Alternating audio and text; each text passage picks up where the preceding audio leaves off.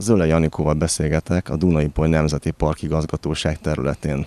Úgy tudom, hogy kísérleteket végeztek, vagy megfigyeléseket végeztek a Dunakeszi reptér területén. Miből állt ez a megfigyelés?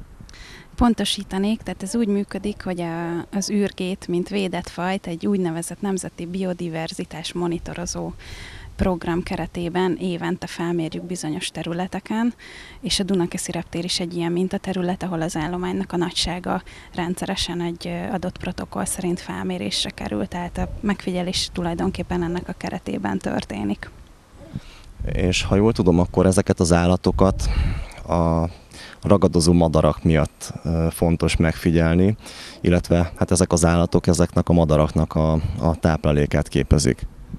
Pontosan igen, ez azt mondanám, hogy kiemelt jelentőséget ad az űrgének, ugyan az űrge önmagában is, mint egy tipikus eurázsiai sztyep lakófaj, ugye Magyarországon, vagy mondjuk, hogy majdnem Magyarországon éri el a, az elterjedésének a, a legnyugatabbi határát, mondjuk talán a Bécsi medence még ameddig előfordul, és így, mint ilyen, egy színfoltot jelent az Európai Unióban a védett állatok körében, tehát az űrgének magának is megvan ez a, a védett értéke, viszont ami valóban egy nagyobb jelentőséget ad neki, az az, hogy olyan fokozottan védett ragadozó madaraknak, mint például például a parlagisasnak, mint például a kerecsensólyomnak egy nagyon fontos táplálékállata, amit így meg kell őriznünk több helyen, hogy ezeket a ragadozó madarakat is megőrizhessük ezeken az élőhelyeken.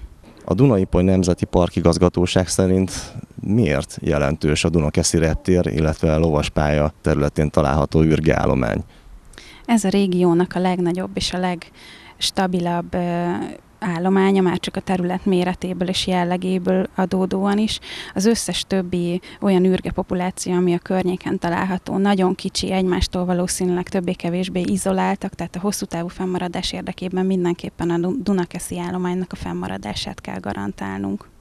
Van-e valamilyen kedvezőtlen hatása annak, hogy a területen ugye nem csak az űrgék vannak, és nem csak a, ezek a védett ragadozó madarak, hanem hát repülés is folyik, sportrepülés is folyik a területen. A Dunakeszi reptéren is, de minden más reptéren megfigyelhető az űrgéknek a jelenléte, és teljesen jól együtt élnek egymás mellett, a, akár a, a kis repülőkkel, akár egy Ferihegy méretű területen a, a nagy repülőkkel. Ami a, a Dunakeszi reptéren talán problémát jelenthet, az az, hogy mivel nem egy őrzött, nem egy lekerített terület, mint ahogy nagyon sok más reptér, hanem szabadon átjárhat mindenki a kóbor kutyáktól a szabadon engedett sétáltatott kutyákig.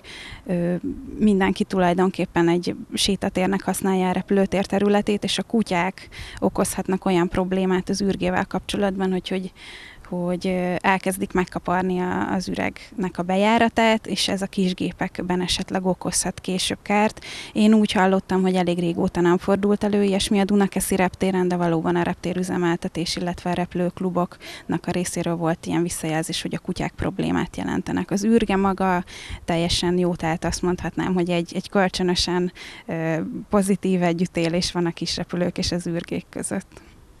Van-e valamilyen szava akkor a parkigazgatóságnak, hogyha ezen a területen esetleg az önkormányzat engedélyt adna, akár, akár milyen vállalkozónak fejlesztése, tehát gondolok itt, akár hogyha lakóparkot szeretnének csinálni, akár valamilyen ipari létesítményt szeretnének ott létrehozni, akkor van-e szava a parkigazgatóságnak ebben? A tulajdonképpeni döntést azt a a közép-Dunavölgyi környezetvédelmi, természetvédelmi és vízügyi felügyelőség hozza meg, tehát ők mondják ki határozatban, hogy mit lehet, illetve mit nem lehet természetvédelmi szempontból csinálni a területen. Az állomány méretéből adódóan több milliós nagyságrendű természetvédelmi érték semmisülne meg csak az űrgéknek a megsemmisítésével. Ha ehhez még hozzávesszük a lóversenypálya területén található botanikai értékeket, ha hozzávesszük a, a repülőtéren tá- táplálkozó ragadozó madaraknak is az értékét, akkor azt mondhatjuk, hogy, hogy sok-sok milliós természetvédelmi értéket képvisel ez a, ez a nagy kiterjedésű füves terület és a rajta élő állatvilág és növényvilág.